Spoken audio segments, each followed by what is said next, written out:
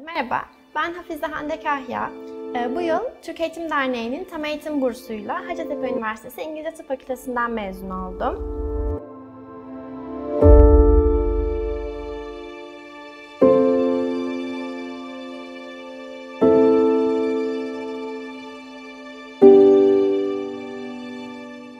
Ee, Antalyalıyım.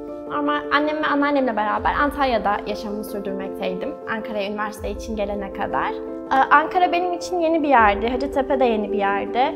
Ee, İşte biraz heyecanlıydım tabii ki buraya geleceğim diye. Yani hep tıp istemiştim zaten. O yüzden e, sınav sonucunu aldığımda çok sevindim. Hacettepe'yi kazandığım için.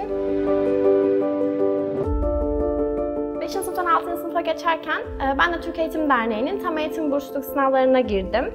E, Sınavı geçtim. Gerçekten çok mutlu oldum. O zaman e, mutlu olmakta haklıymışım. Açıkçası o zaman çok bilmiyordum. Türk Eğitim Derneği nedir? 5. sınıftım daha ilkokul. E, Nedir? Benim hayatıma ne gibi değişiklik yapabilir? Ba- Bazı şeylerin çok farkında değildim. Fakat şimdi geriye dönüp baktığımda diyorum ki iyi ki e, TED'le tanışmışım. İyi ki bu bursu kazanmışım. İyi ki tedarisinin bir üyesi olmuşum diye düşünüyorum. Benim için Türk Eğitim Derneği'nden almış olduğum burs sadece banka hesabımıza yatan bir ücretten ibaret değil kesinlikle.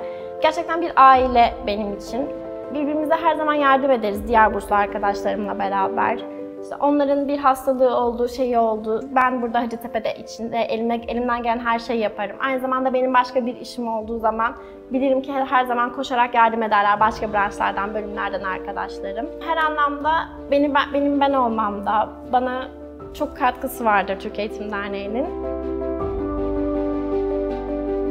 İleride ben pediatrist olmak istiyorum uzmanlık alanında.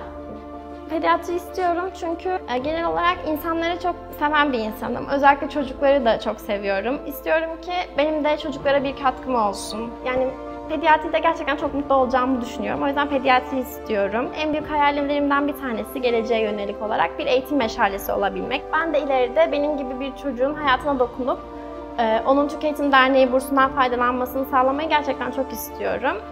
Ee, ileride bir eğitim meşalesi olarak bunu da gerçekleştireceğime inanıyorum.